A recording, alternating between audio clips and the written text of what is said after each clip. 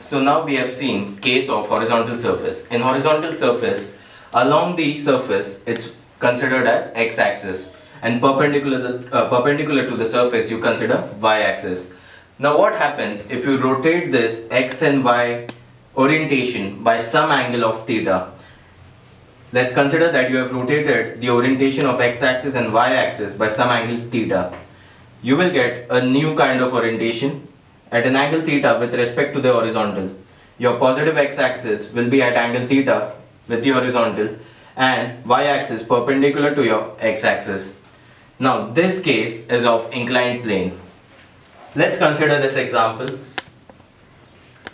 Consider a horizontal surface inclined at an angle theta. Now you have an inclined surface at an angle theta.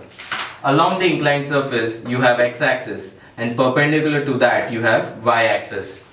Consider you have kept a mass m on that inclined surface.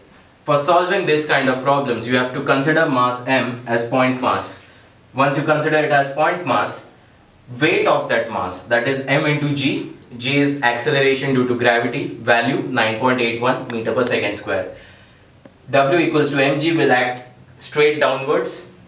Then mg cos theta, mg cos theta will act perpendicular to the inclined surface, that is in negative y direction. That, that component will be given by f of y, mg cos theta and along the inclined surface you will get a component of mg sine theta that will be your f of x. This happens in case of inclined surface.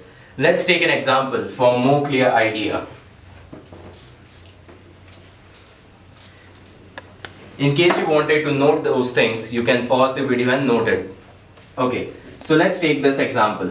For example, there's an inclined surface of 30 degrees with respect to the horizontal you have kept a mass m of 80 kgs on it. W, that is weight of that mass, m into g, is acting downwards.